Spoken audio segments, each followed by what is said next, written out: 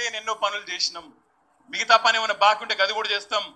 తొంభై శాతం చేసిన వాళ్ళం మిగతా దస్ పర్సెంట్ పని మేము చెయ్యమా మా మీద నమ్మకం ఉంచరా అని అడుగుదాం. అవతలోడు చిల్లర మల్లర మాటలు మాట్లాడితే అడుగుదాం. ఉన్నాదురా నీ దగ్గర నీ రాష్ట్రంలో. రాజస్థాన్లో కాంగ్రెస్ ఉన్నది. కర్ణాటకలో బీజేపీ ఉన్నది. ఏదన్నా ఒక ఊరుకోదాం పైసలు మేమే పెట్టుకుంటాం. ఏదన్నా ఒక్క ఊరు తెలంగాణ ఊరు లెక్క ఉన్న ఊరు ఒక్కటి చూపెట్టు. ఒక్కటి చూపెట్టు. ఏదన్నా ఒక్క ఊర్లే. నర్సరీ వైకుంఠధామం ఏదన్నా ఒక ఊర్లో డంపింగ్ యార్డు ఇంటి ముందు మొక్కలు ఇంటి ముందు నల్ల ఇంటింటికి రైతు బంధు ఊరూరికి రైతు వేదిక ఉన్న ఒక్క ఊరు ఈ దేశంలో ఎక్కడన్నా ఉన్నదా? చూపెట్టుమని అడుగుదాం. ఈ దేశంలో ఎక్కడ పని అయితే లేదు. అంత బోగస్ ముచ్చట్లు మతం పేరు మీద చిల్లర మల్లర పంచాయతీ. నువ్వు గట్టిగా అడిగినావు అనుకో బీజేపీని. ఏమరా ఏం చేసినావు? రెండు లక్షల కోట్లు మా ఏడెత్తకపోయినవరా అంటే ఏమున్నది? మళ్ళీ ఏమంటాడు? Afghanistan Pakistan Hindustan Akbar bin Laden Babar. వానికి తెలిసింది కదా ఒకటే. తంబాకు బుక్కాలి అడ్డమైన మాటలు మాట్లాడాలి. ఈ చిల్లర మాటలకు మనం కన్ఫ్యూజ్ కావద్దు. ప్రజలకు చెప్పాలి తమ్ముళ్ళకి చెప్పాలి. ఈ చిల్లర నాయకులు పక్క రాష్ట్రంలో నలభై పర్సెంట్ కమిషన్ తీసుకుంటున్నారని కాంట్రాక్టర్లు ఆత్మహత్యలు చేసుకుంటున్నారు. దేవుడు దేవుడు మఠాలు మఠాలు అంటారు.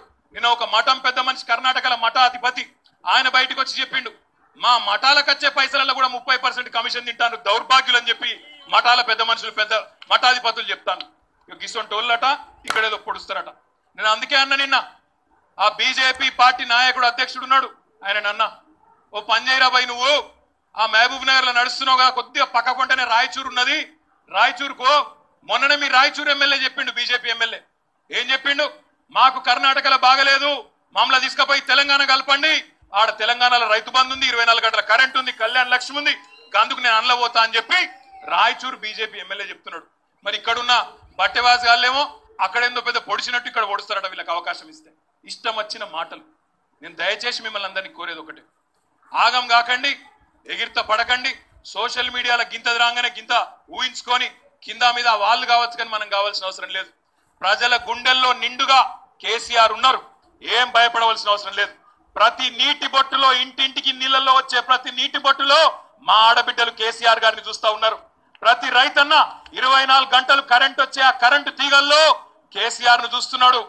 బ్రహ్మాండంగా ప్రతి సంక్షేమ కార్యక్రమంలో ప్రతి అవ్వ ప్రతి తాత తనకొచ్చే ఆ రెండు వేల పదహారు రూపాయల్లో బ్రహ్మాండంగా కేసీఆర్ గారిని ఒక పెద్ద కొడుకులాగా ఆశీర్వాదం ఇస్తా ఉన్నాడు.